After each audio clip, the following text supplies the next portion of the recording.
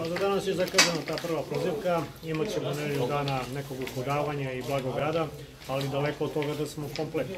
Znači, kao što ste rekli, neki igrači su nas nažalost napustili, neki su zbog privatnih obaveza ili obaveza prema školi odsutni danas, ali ja očekujem otprilike za dva do tri dana da budemo koliko toliko kompletni i naravno bit će neophodno bar još dva ili tri igrača, ovo je neka prava pojačanja koje želimo da dovedemo, ali rekao sam prava pojačanja, znači ne samo da budemo na broju, nego da stvarno ono što dovedemo bude kvalitetno.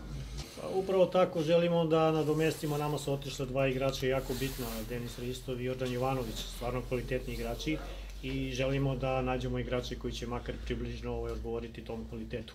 Biće verovatno i mimo toga još pojačanja, znači napuštilo se nas 3-4 igrača, želimo isto toliko da dovedemo, ali kažem, pre svega akcenat na kvalitetu, ne želimo po svaku cenu da gomilamo igrače, na kraju krajima ima ovde dosta igrača iz Pirota, ima iz eh, naših mlađih selekcija koji će pokriti ta neka mesta, tako da kažem, jednostavno hoćemo da dovedemo kvalitetne igrače, a, naravno da su pregovori u toku, ali ja u ovom trenutku se ne bih izjašnjavao oko imena.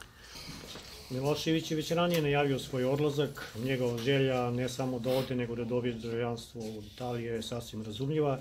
Još uvek nemamo informaciju šta je uradio, znači on je pod znakom pitanja. Vidjet ćemo, kažem, u narednih dva do tri dana još dosta igrača treba da se izjasni da li će ovde ostati ili odlazi.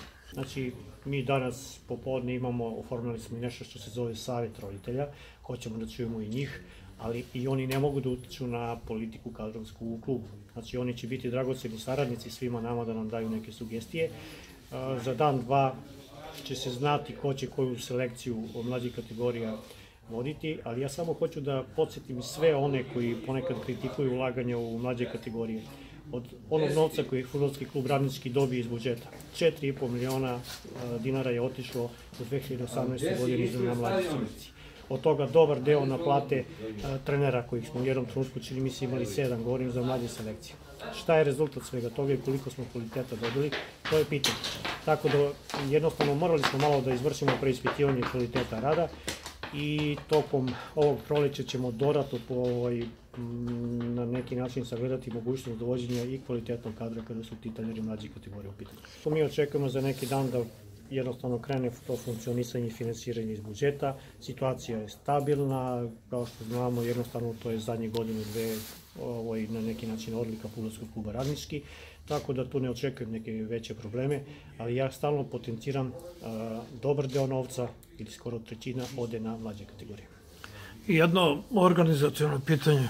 Vi ste najavili sednicu Skupštine. E, čini mi se da u rukovodstvu nema mnogo ljudi osim vas da nemate i sportskog direktora ili direktora, da sve to nedostaje i da bi radničkom to bilo neophodno za jedan uspešan rad. Slažem se, znači popuna čak i brojčano uprave predstoji, odnosno verovatno temeljna rekonstrukcija. To je nešto što će slediti verovatno tokom februara, znači sad nam je fokus i želja pre svega bilo da krenemo da radimo, da nađemo kvalitetni igrače za prvi tim, da možemo naravno da nastavimo onu priču koju želimo, a to je eventualni povratak u prvu ligu i tamo gde mislimo da nas Sve ovo ostalo naravno da sledi i oko uprave i oko pa na kraju krajeva i sportskog direktora, ali ja moram da priznam da jednostavno nisam video pravu ličnost u Pirotu za mesto sportskog direktora, a pogotovo ne neko ko će raditi volonterski, neko ko voli radnički, znači svi vjerovatno volili da budu ovde i da primaju veliku platu. Znači to jeste problem, čini mi se, trenutno u našem kolektivu.